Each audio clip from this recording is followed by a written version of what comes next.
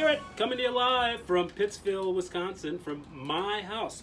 Hey, have you ever heard of Wish.com? Like China, you get stuff directly from them. It's crazy. We're sending them our credit card information. Anyhow, you get stuff four months after you order it. That's kind of the case with this. This is a fishing pole that I got from China. It's uh, automatic uh, hook setting, so um, supposed to just catch fish. You put the line out there, you catch the fish. So I, needless to say, I was very excited when I got it.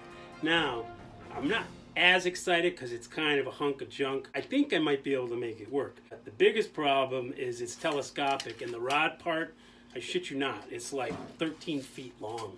It's uh, it just goes and goes. So you'd be catching marlin with this thing in the Atlantic Ocean. I don't think it's very strong either. I think anytime if you got a fish any weight, it would snap off.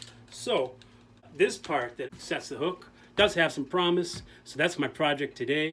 Um, I'm gonna get rid of this. I'm gonna use one of my fishing rods. I'm gonna put it in there somehow. I don't know, but I can make it work.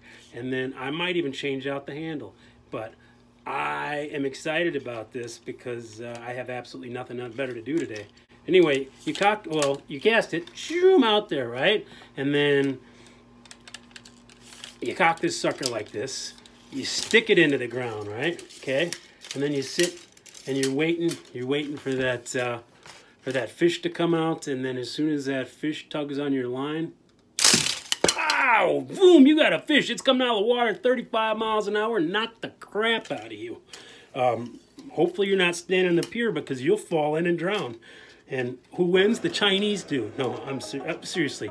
I'm excited about this. I'm gonna make it work, and I'm gonna catch fish with this thing, and you're gonna see. And uh, that's about all I got right now. It's winter. I'm bored, so I thought I'd bore you too. Hey, have a good day. Love you guys. I pinched myself.